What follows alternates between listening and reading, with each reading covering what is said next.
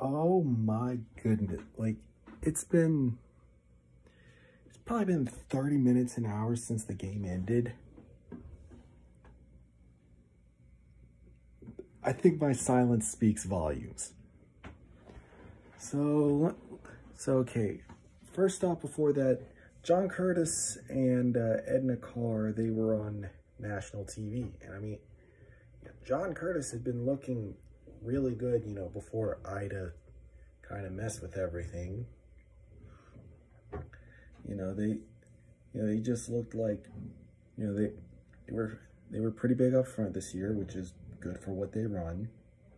And, you know, they were just moving people off the ball.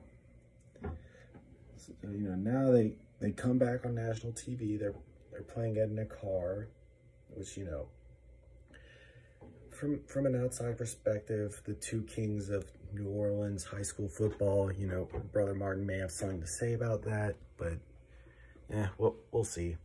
But anyway, now that game got a little out of hand quick. The game I want to talk about, my LCA Knights took on the Acadiana Wrecking Rams. And man, I mean, I mean, first of all, you know, LCA was moving the was moving the ball on Acadiana pretty well. Like their offensive line, the past couple years, their offensive line had some struggles. This year, they looked like they belonged. Like they were, they were getting a decent push. Uh, LCA's new offensive coordinator was calling some good plays, but he's been, you know, he's been calling some good plays. You know, nothing, nothing against the last guy. It's just this.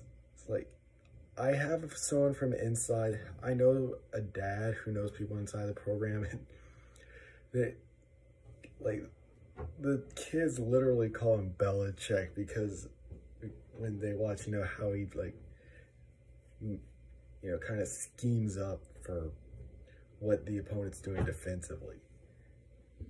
But it, see, anyway, back to the game. You know, LCA was moving the ball, but you know they they had troubles with turnovers. You know, Johnson played a relatively good game, but he did throw three interceptions. That you know that is you know that is what it is, and can't expect to win a lot of games like that. However, some of that was mitigated by on Acadiana's side. They were called for like four or five unsportsmanlike conduct penalties. I mean, there was a, at least what I think what I'm thinking is there were four unsportsmanlikes, and then there was another. Uh, there was another play where basically uh, a player, actually a former LCA player, uh, got kicked out of the game for basically targeting. I mean, if if you saw the play, you know, he kind of speared into the back and playing out the back just got right back up like nothing happened. But yeah, I mean, it again, it's kind of it is what it is. I you know, I didn't want to see him go out. You know, I'm wishing for the best for him, but, know, just, that's what happened. You know, he, just the play was going on, he kind of speared forward.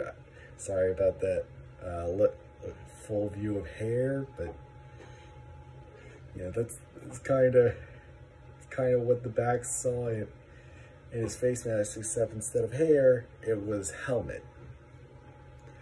So anyway, that that play was on a goal to go situation. I will get back to that.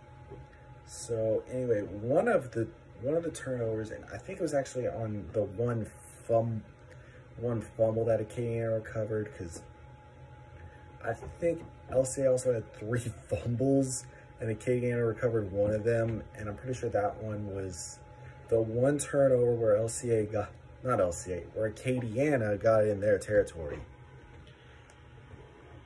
Because with the with the field position game, Acadiana did have one turnover and LCA got it about midfield, but I'm pretty sure they threw an interception back.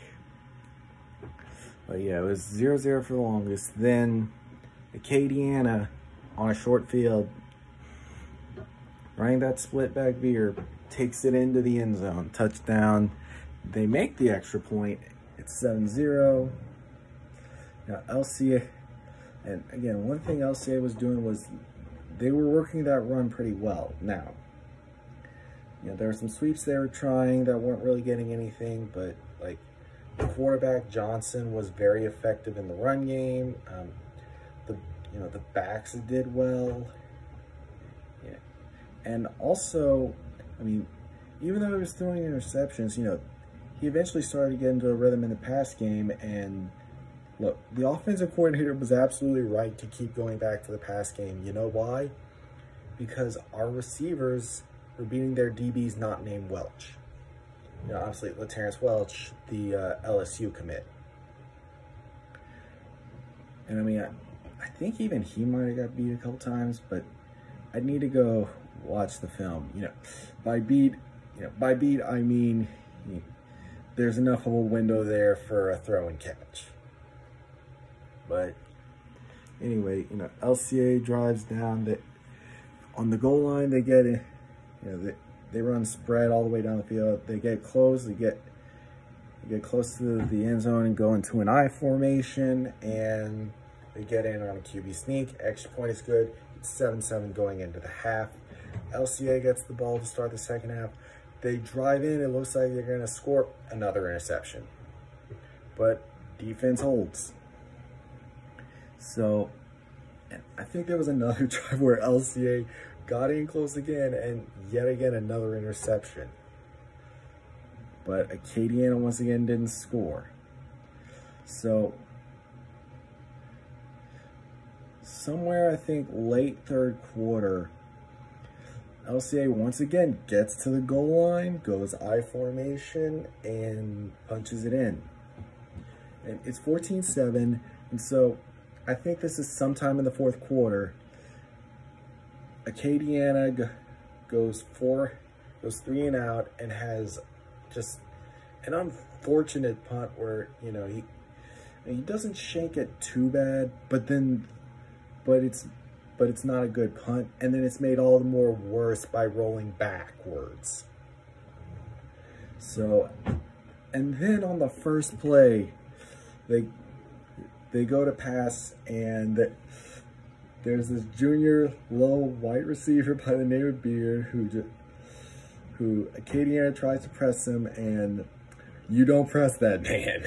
he is he is a you know he has worked on his footwork more than you can imagine. So anyway, be, beats his man, gets open deep, but he like he stumbles around the five yard line and is down at the four. Otherwise, he could have walked into the end zone. And and then, un unfortunately, the quarterbacks Johnson starts dealing with cramps. They have to bring the backup, who's a little bit more of a pocket passer, and so. I also think in that series, on third and one, there's a false start, and then they hand it off to the back. He gets a couple yards. They bring out the field goal team. They miss. And so at this point, it's late fourth quarter. Acadiana has to drive, okay? And, you know, they you know, split back veer offense. They got to run. They, they run, they run. I think the first, actually the play that springs them off is they hand it off to the back for a trick play pass and there's a late hit.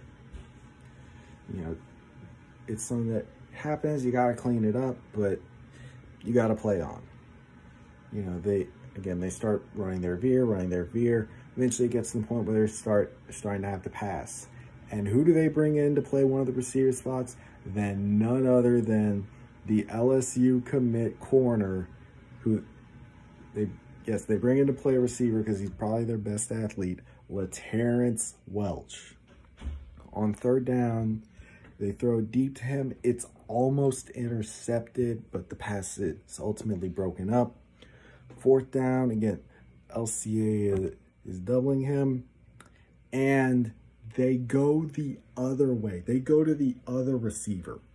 And he catches it, and he's down at the three-yard line. Couple plays later, Acadiana punts it in. Now this is where it gets a little weird because at first they send out the offense and then call a timeout. They bring out the PAT team. I need to go see the replay. I thought Brylan Green, LCA's defensive back, he's committed to Liberty for football and for outfield and baseball. Uh, but Brylan Green, oh, who's a, who also this is his first game back this season. He he'd been dealing with a thumb issue, but he's back and he again he came up big on that third down before they got beat deep on that fourth down play. He appears to jump off and then the refs have a big conference for like a minute plus. I'm like, you know, it's starting to creep in. Are they going to say it's a false start? Because again, I need to see the replay to see if it happened. But live, I didn't think that, I didn't see anyone jump before Brylan did. Just being honest here. But you know what? It happened. They kick an extra point from five yards back. It's blocked. Uh, they and then after the block, LCA recovers an onside. They run out the clock and LCA wins the game 14 to 13. Like this is this has to be up there with the with the craziest games in, that LCA's ever played in. Uh, in the top three, I can think of two they were on the right side of, one where they were on the wrong side. So obviously this Acadiana game, it, I just because of who the opponent is and the magnitude, I would put it at number one. Then in second place, another game they won. It, it was a playoff game. They were playing a, a team in dis, they were playing a district team that had beaten them in the regular season. And I can give the full context of that game if y'all want to drop it in the comments if y'all want to hear that. But anyway, they're playing them it's late in the fourth quarter. They score a touchdown. The kicker misses an extra point. So they're down one point.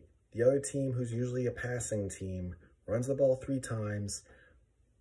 They use all three of their timeouts, punt, drive down, and get it to about a 43-yard field goal.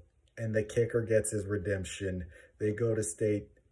LCA wins their first state title in school history. Again, y'all want me to go like full in depth, I, I can make another video on that. And then number three is actually one from back in my high school days, back when, back when I was on the team. I, I wasn't really playing, but I was on the team. But there was a different district opponent we were playing. They were up, what, 14-0 at, they're up like 14-0 at the half. We may, and we make an adjustment and we come storming back. It's, it's tied 21 all late in the fourth quarter. They have the ball. They bomb it down the field. This is my sophomore year. They bomb it down the field. It's caught. A couple plays later, they run it in. They win the ball game. And this was this was on our home turf too. But yeah, else I mean LCA has been fortunate enough to not be on that side of those games too often. But it has happened.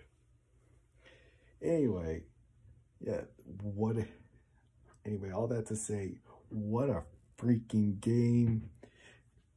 You know, that and I mean, look, they they still got things to work on, but I mean, some other things. Special teams was something I was worried about. Other than the other than the PAT unit, really, the special teams played really good in that game, actually. I mean, you know, there's some other stuff they'll have to clean up, but going forward, I feel really good about this team.